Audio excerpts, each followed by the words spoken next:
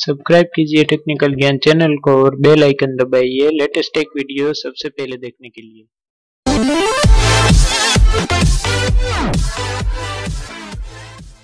नमस्कार दोस्तों टेक्निकल ज्ञान चैनल में आपका स्वागत है। आज हम बात करने वाले हैं डिस्प्ले के बारे में।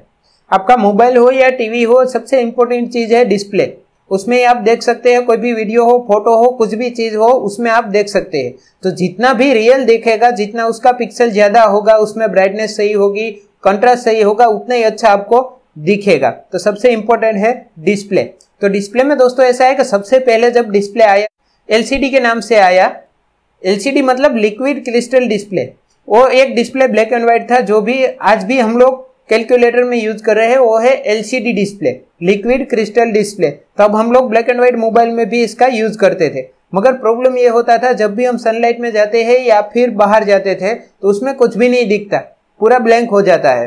तो हमें ज़रूरत पड़ी कि बाहर सनलाइट में भी यूज़ करें, ऐसी कुछ डिस्प्ले की।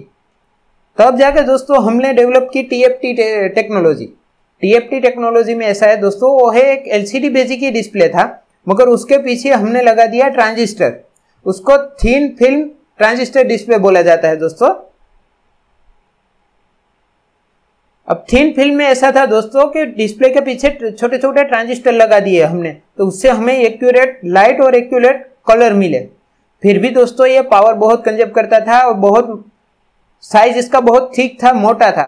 उससे अच्छी टेक्नोलॉजी की हमें ज़रूरत थी। तो फिर डेवलप किया आईपीएस डिस्प्ले। आईपीएस डिस्प्ले में ऐसा है दोस्तों कि आपका जो कलर है वो बिल्कुल आपको एक्यूरेट दिखेगा। और पिक्सल की साइज़ है वो आईपीएस डिस्प्ले में बहुत बढ़ गई।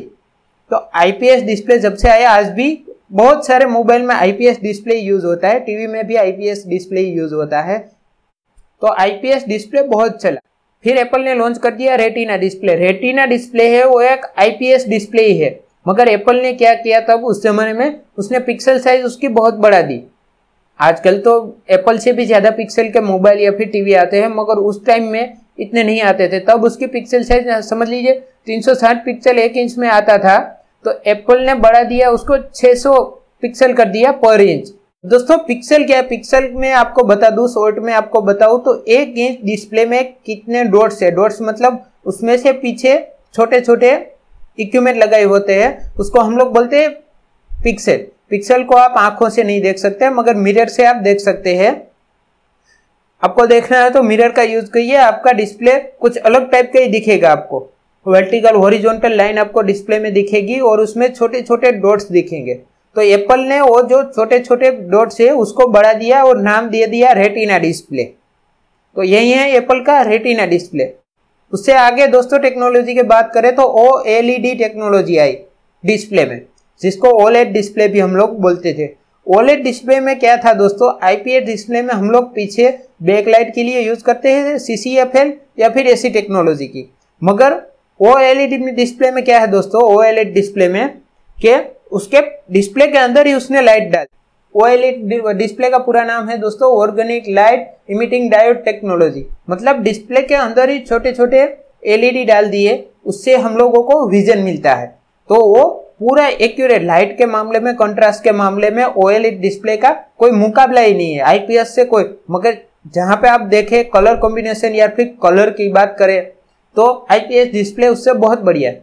मगर ब्लैक कलर का प्रॉब्लम आईपीएस डिस्प्ले में कहीं ना कहीं आता है, क्योंकि उसके पीछे की लाइट है, वो पूरी हम लोग बंद नहीं कर सकते। जहाँ जहाँ ब्लैक दिखाई देता है आपको, वो ओएलईडी डिस्प्ले में एकदम से ब्लैक दिखाई देगा आपको, क्योंकि उसके पीछे जो लाइट है, पूरी ऑफ़ हो जाती है। मतलब बिना लाइट का उससे ब्लैक क्या हो सकता है? उसके आगे दोस्तों बात करें तो सुपर एमोलेट सुपर एमोलेट में क्या हुआ? उसके देखिए, मोबाइल के लिए टेक्नोलॉजी उसके ऊपर ये टच स्क्रीन था जो, टच पैड था, उसको बिल्कुल से नज़दीक लगा दिया। मतलब डिस्प्ले से अटैच कर दिया। तो आप जब भी टच पैड यूज़ करेंगे तो आपको ऐसा ही लग रहा है कि आप डिस्प्ले ही यूज़ कर रहे हैं। तो उसको बोला गया सुपर एमोलेट डिस्प्ले। उसके बाद दोस्तों नोकिया लेकर आया है clear blank display clear black display लेकर आया नोकिया तो उसमें क्या है दोस्तों एकदम ब्लैक होता है।